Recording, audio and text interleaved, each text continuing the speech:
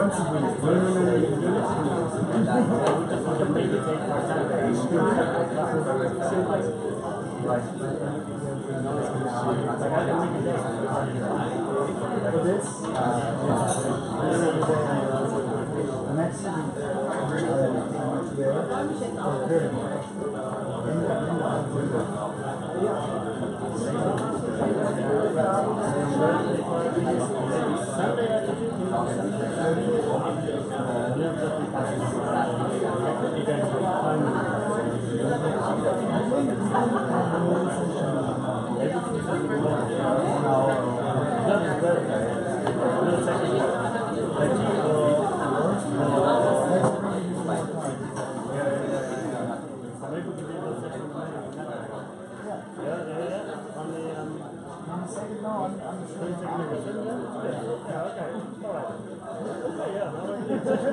那是炫酷，那是包，那是。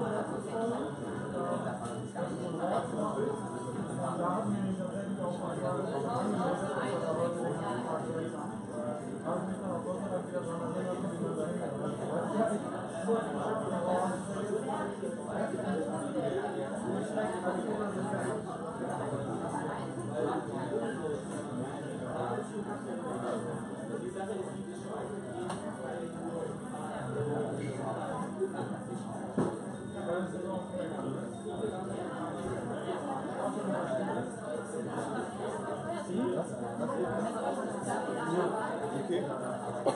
Aber geil, dass du dich da so lange dahinter gehauen hast.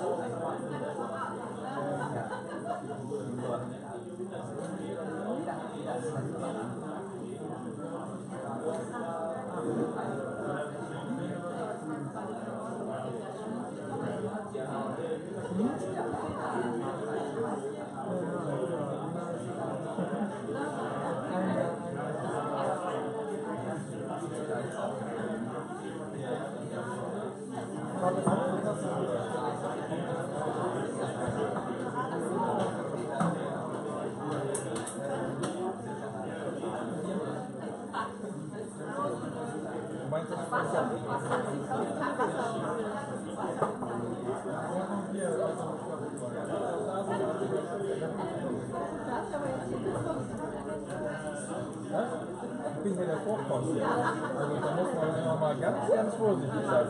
Oui.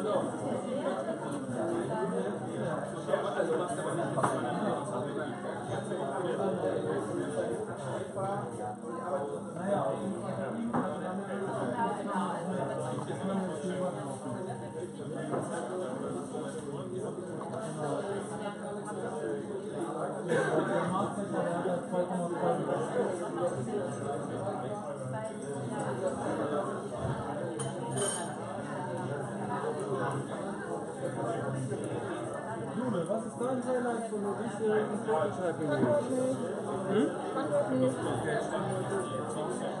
Dann nehme ich einen Marshmallow. Ich sag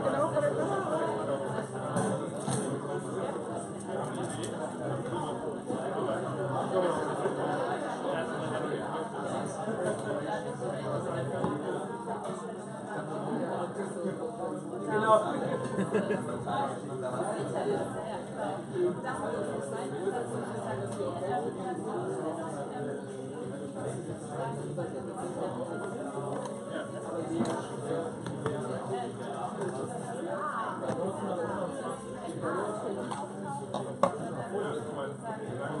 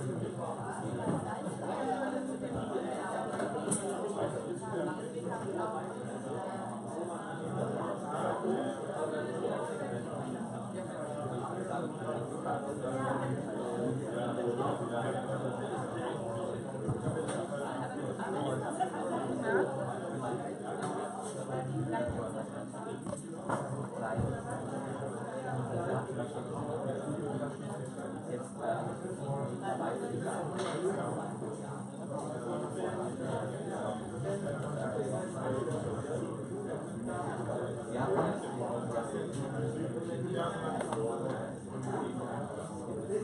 you.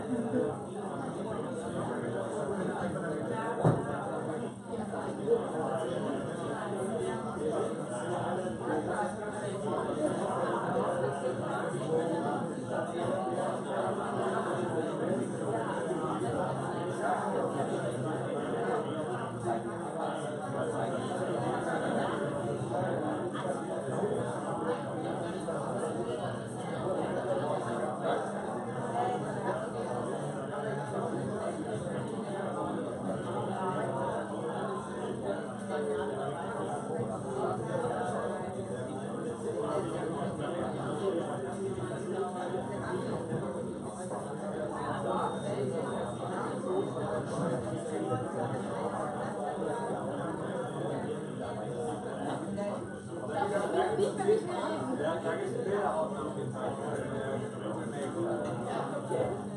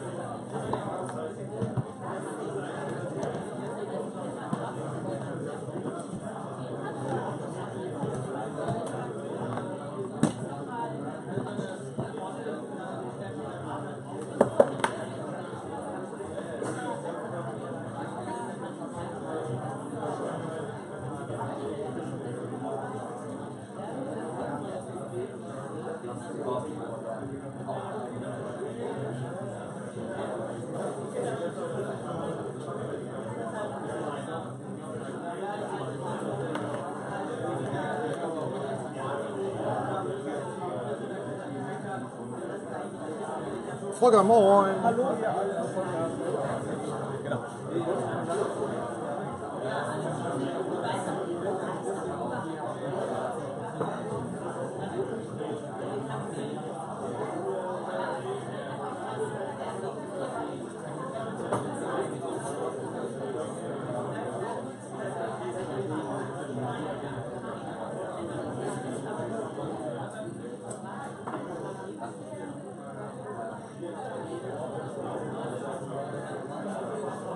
wieder genommen. Oh nein.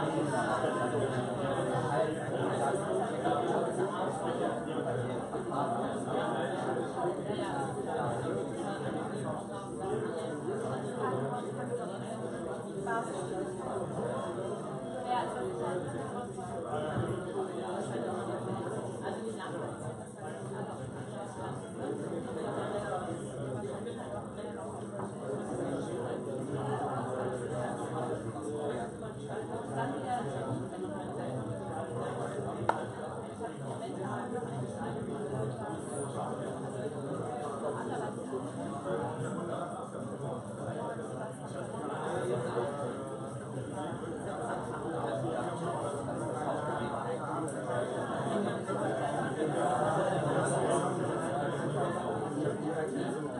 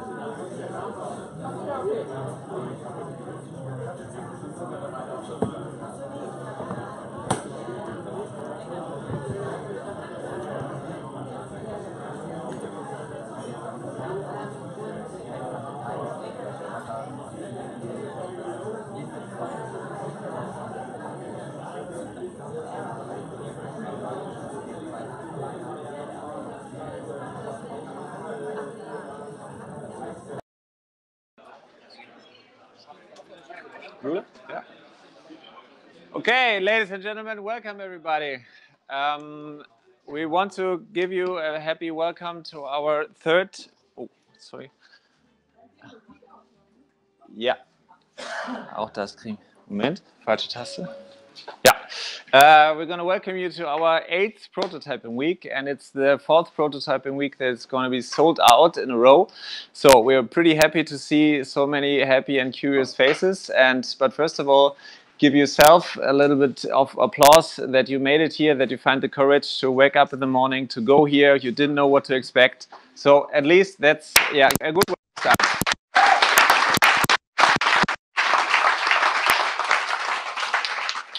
Okay, um, I don't want to tell you too much, but at least uh, lead, I need to tell you some sentences. First of all, um, the language is mainly in English, but as soon as you don't understand what I'm or the other people are saying, raise your hand and we're gonna switch because there are also English and internationals here with us, and it would be nice to be as open as possible. So that's the reason why we're speaking English.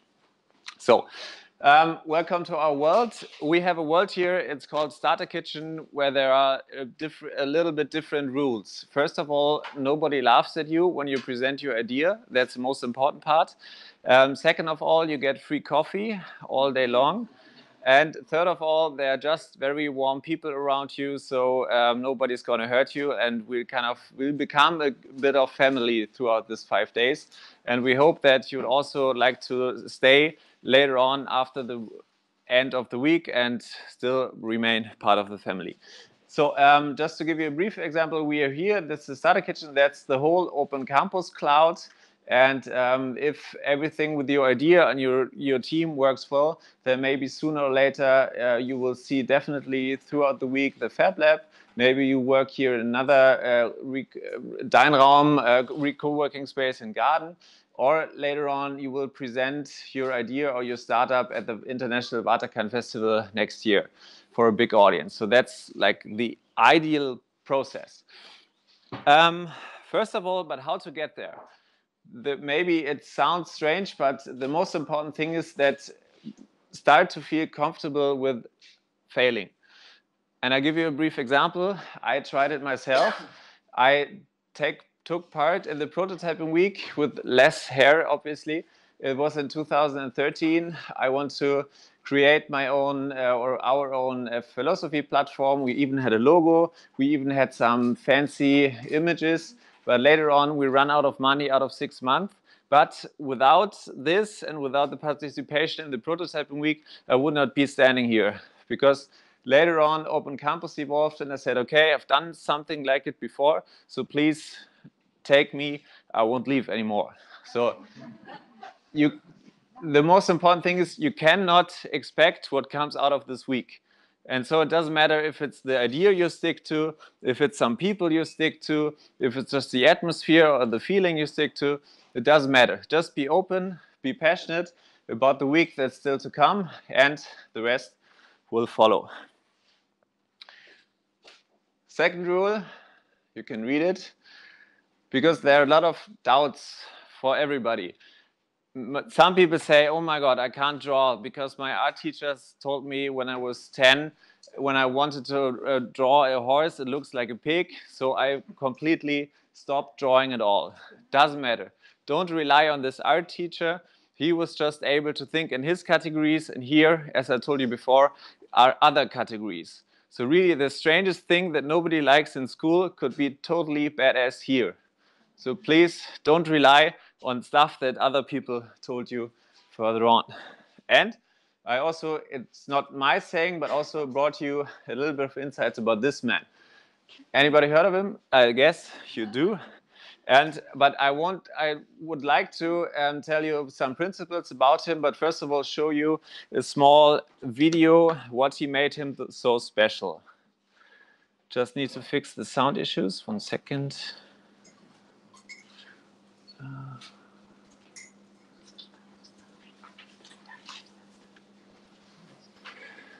So. We think of Leonardo da Vinci as one of the world's most masterful artists, but really, he was a scientist, incorporating anatomy, chemistry, and optics into the artistic process. With the Mona Lisa, Leonardo was able to bring a one dimensional painting to life, creating an augmented reality experience centuries before the concept even existed.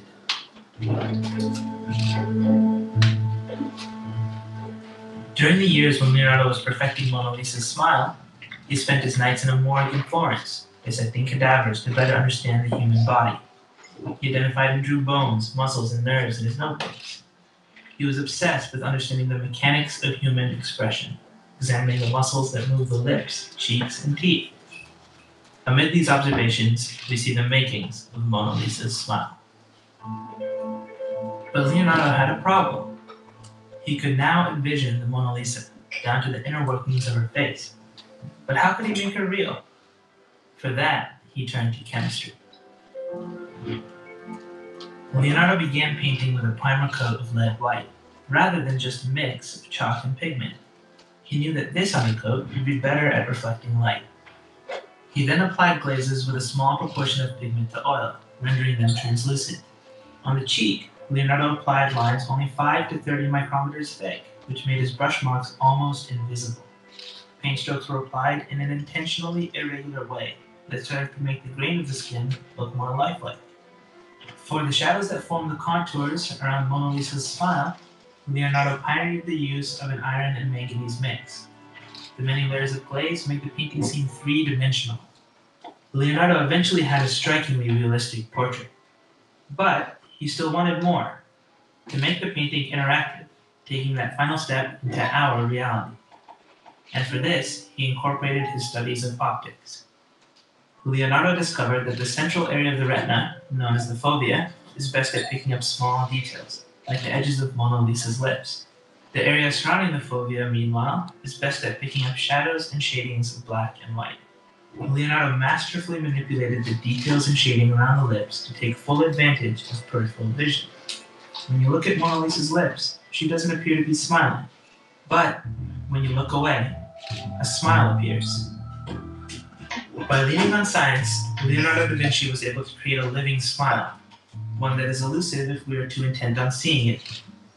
Stand before the painting, and the science, magic, and art all blur together into what some consider to be the world's first augmented reality experience. So the question is, why do I tell you all of this? I think um, first of all, he was somebody who wanted to go his own way, and he didn't ask for to, for permission to go there. He was the first one who combined really the different disciplines, as you have heard, from science, art, and magic. And this is something that could also evolve here because we have a lot of different talents. Everybody has a talent on its own and in completely different fields. So it might be that you team up with somebody who's very good in playing card tricks and have another one who's a programmer and have another one who's a visual artist.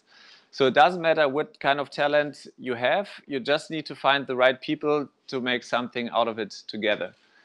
And the only thing that really you need to take part, but it obviously brought you here, is curiosity. And this is also the same stuff that he kind of uh, thrived with. And the most important part is he was able to do all of his stuff because he was doubting everything he sees. He does not, he did not take anything for granted, and throughout the doubt, he came to new conclusions. So in this way, it's always nice also to doubt sometimes. First of all, uh, he was also an outsider.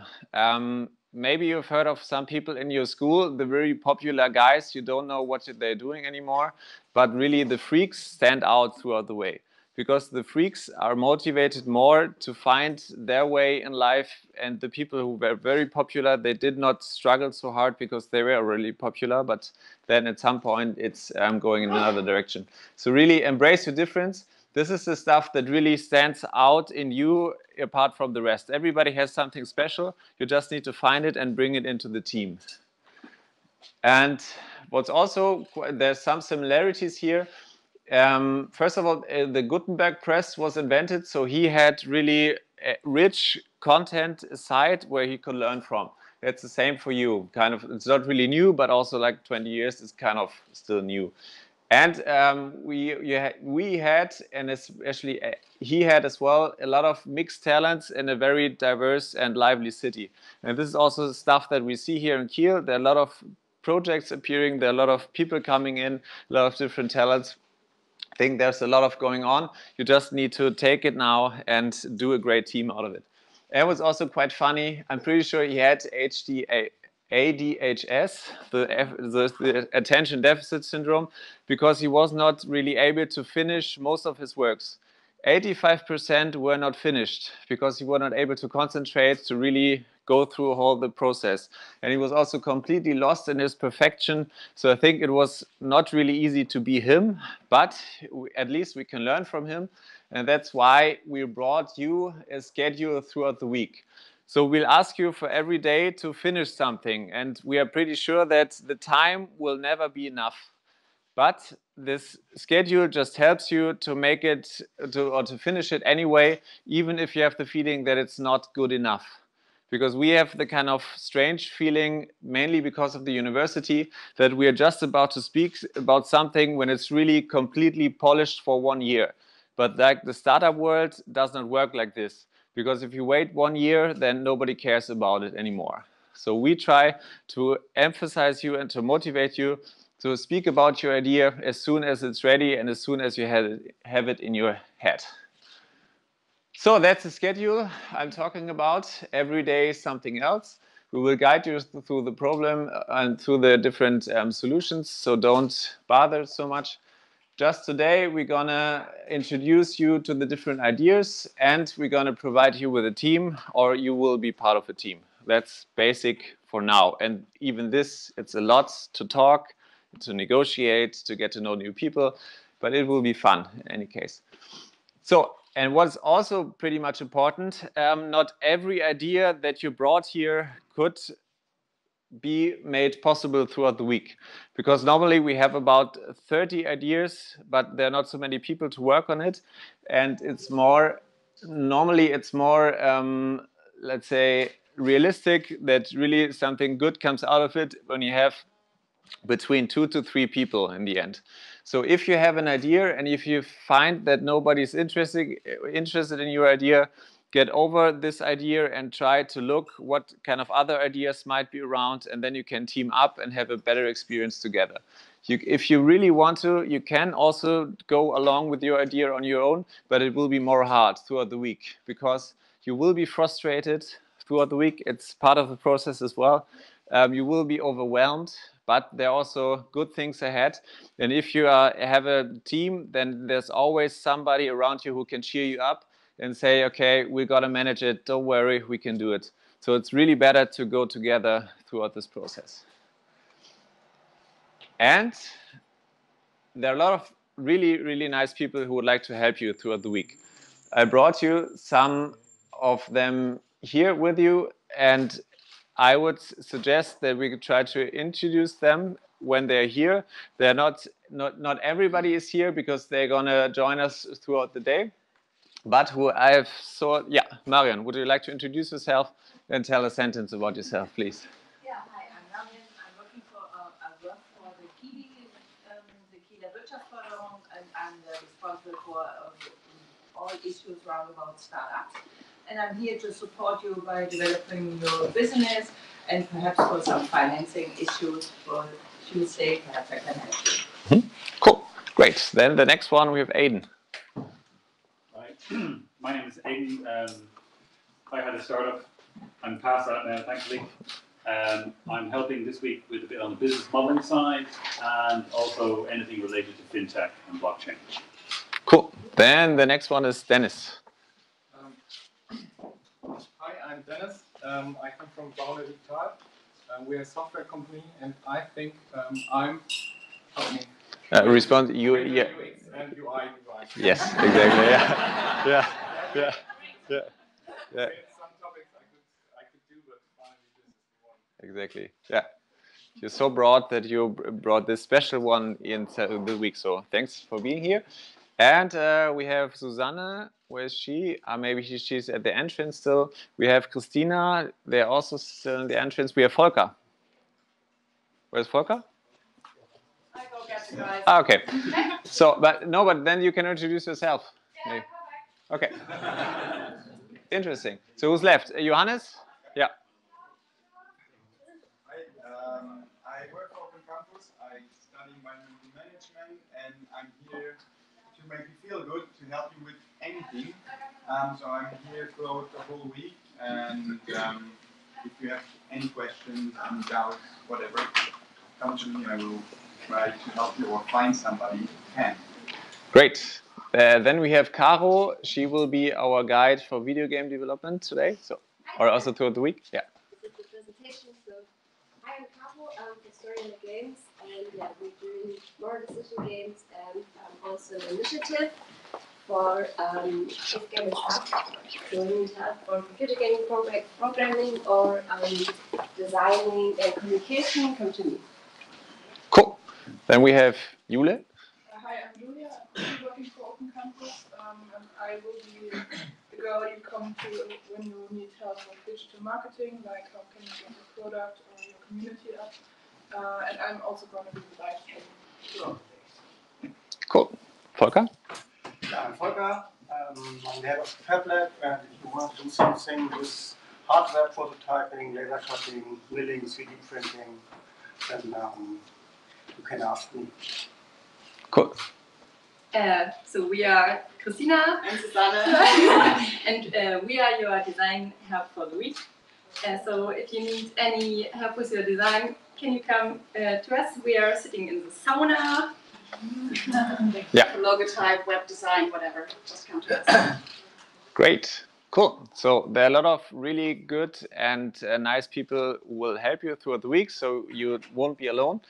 And uh, there are some, just two more things to go. We don't judge. We don't have a jury. We don't have somebody who would like to talk, who would like to listen to themselves. So really, um, the community is um, the the guys who will give you feedback. And also, we are more like this. We are more like the the Hülle der Möwen. Um, there's Per who take part in it before.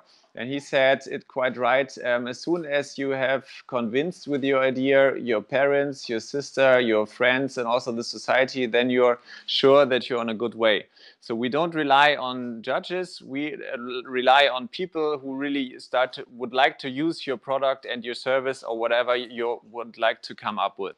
So that's really the most important thing of this whole week. So don't trust the TV in any case. So so in this way, we would like to um, start loving your feedback because you will get a lot of feedback throughout the week.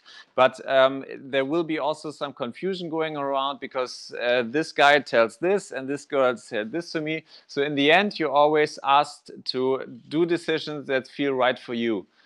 Um, yeah, you will come to this you will come to this um, insights throughout the week, but you can rely on your inner voice and you will find a way. I'm pretty sure of it.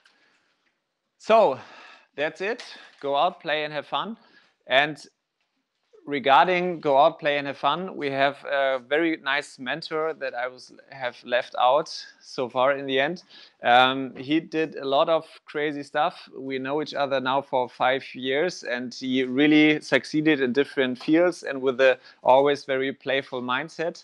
And so, uh, please welcome uh, Lars Müller. We, we, we try to be a little bit more Italian throughout the week. So let's say Don Birra. Yeah, let's see what he comes up with. Um, yeah, give him a warm applause for Lars Müller.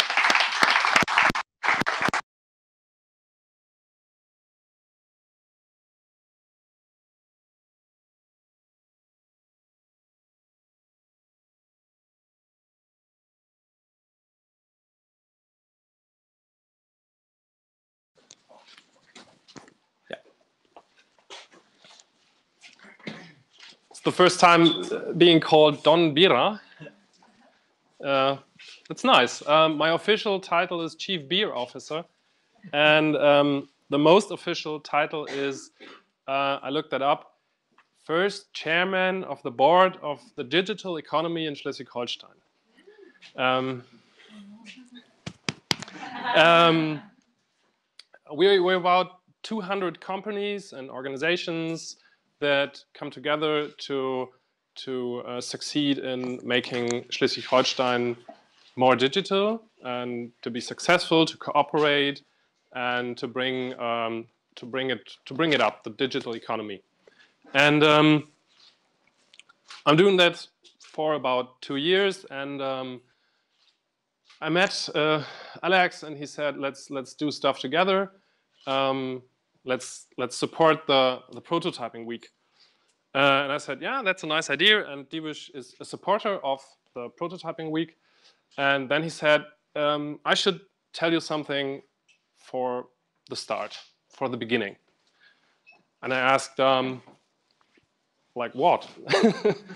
um, I can I can tell you my titles or something. Um, he said, no, just just tell your story. And I thought that would be quite boring. Um, but I said, okay. I do that very often in German. It's the first time for me to tell my story in English. So that's a quite quite a pr prototype uh, today. Um, okay, so um, what, what am I doing in my normal job? I'm a, I'm a CEO of a, of a digital agency. And the truth is, I founded that 20 years ago, over 20 years ago. Um, I was I was sitting in the room of my my best mate at school, and we're like thinking about how to earn money and how to impress girls. Um, but not doing a normal job, not working at a bar or something. Now I know working at the bar is quite good and it's quite helpful for my would would be uh, would have been quite helpful for my later life, but I didn't know that. I, I decided with him to found a web agency to make homepages because we thought someday every company would need a website. And 20 years ago, in the small town of Glücksburg, that's near to Flensburg, we were the only ones who thought that. we tried to sell some websites, but we did not succeed in that way we hoped to. Um, but we continued. We built a website for uh, 100 Mark um, for his dad. he had a shop. He had a shop in Flensburg, and, and we built a website. It took hours and hours and hours, but um, someday it was uh, finished, and um, from that point on, um, people were interested in websites. Um, it took some years, but yeah, it, it, it came to, to northern Germany that there is this internet and you should have a website. Um, yeah, and that's boring because I, I, I, still do that. I build websites for companies. Uh, we do a lot of consulting and um, online marketing and design and software development. We have uh, about 20, 26, 27 employees working at, at the company Widgetal. We call it Widgetal now.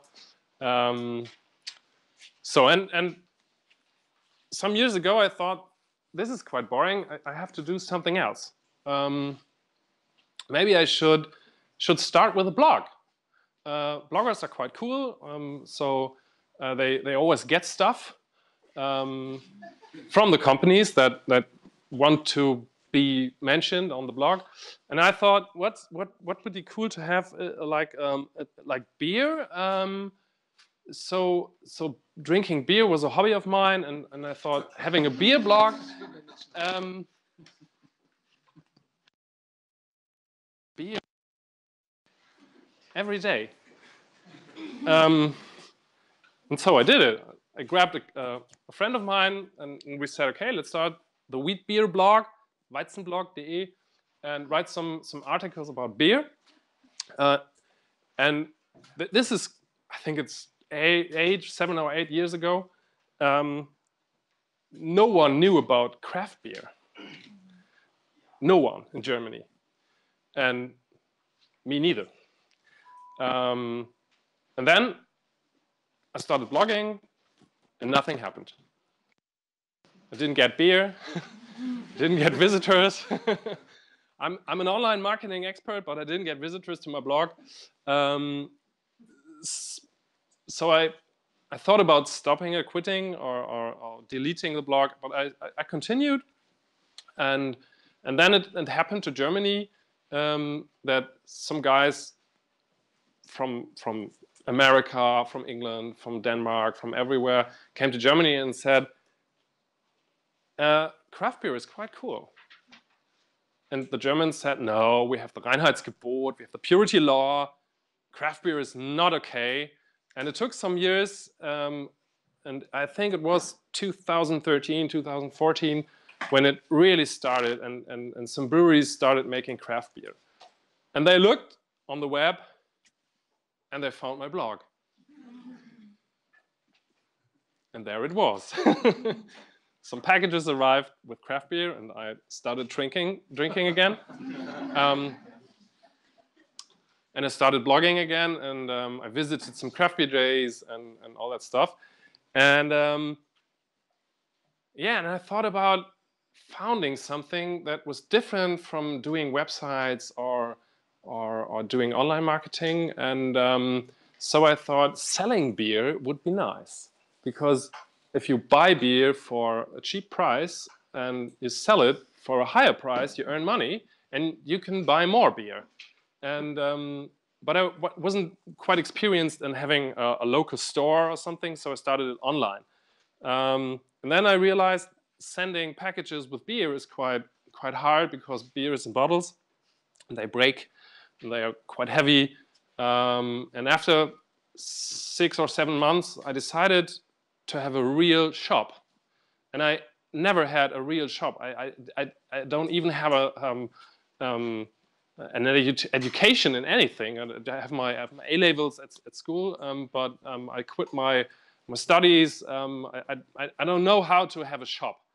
Um, and everyone said that's a crazy idea to have a, a shop when you don't know how to have uh, to do the business.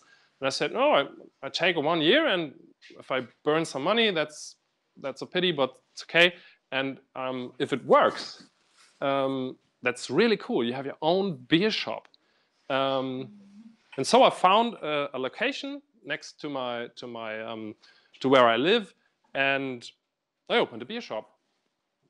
And I started buying beer, selling beer. I was in the shop on Fridays and Saturdays, um, and people came in and bought beer. And then I started doing um, beer tastings, and I built an online shop, and uh, now I have two employees uh, working on the shop. Um, someone who's making uh, the, the, tasting, um, the, the, tasting sets and education in, in, in beer, and um, yeah, it worked out. And I, I didn't know before. I just tried, um, and I had a lot of fun. So my message maybe is just do it. Just just make your your own thing, build a, and um, maybe it happens that it's successful, maybe not. Um, I always thought if it's not successful, I have a lot of beer. That's okay too.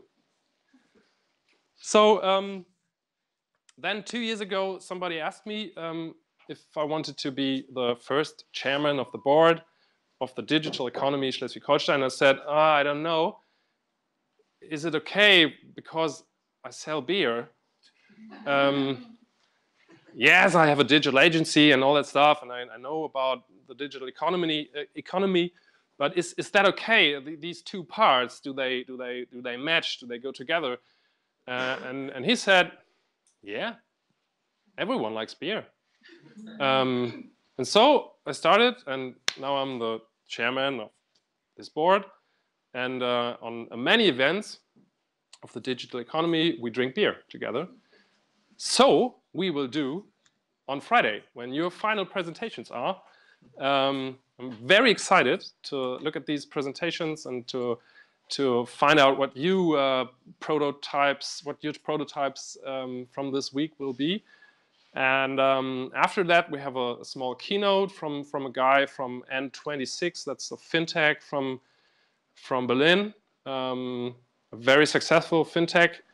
And uh, he will tell about his way of, of, of getting rich um, or getting, getting a prototype to work.